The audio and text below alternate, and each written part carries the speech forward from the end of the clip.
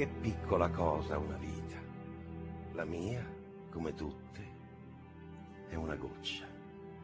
Voglio si perda in un mare d'amore, perché è l'unica via, altrimenti è una goccia sprecata. Troppo piccola per essere felice da sola e troppo grande per accontentarsi del nulla.